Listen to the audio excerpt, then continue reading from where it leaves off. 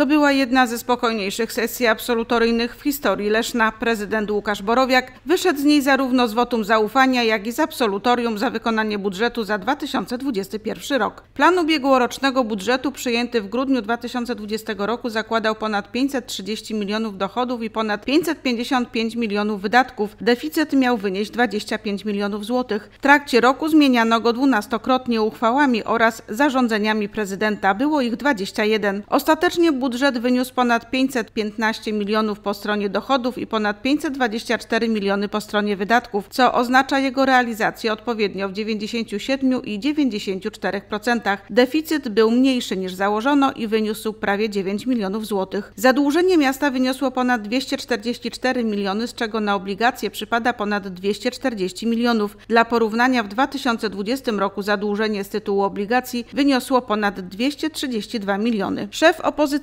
klubu Koalicji Obywatelskiej Jacek Matecki w trakcie dyskusji mówił o złej sytuacji finansowej miasta. Radna Adriana Machowiak przedstawiła stanowisko opozycji w sprawie absolutorium, podkreślając konsekwencje radnych z KO, którzy nie poparli uchwały budżetowej w 2020 roku. Absolutorium poparły dwa pozostałe kluby PL18 i PiS. Ostatecznie prezydent Łukasz Borowiak zyskał akceptację 15 radnych w głosowaniu nad wotum zaufania, pięciu było przeciw oraz poparcie 15 radnych przy absolutorium, sześciu było przeciw.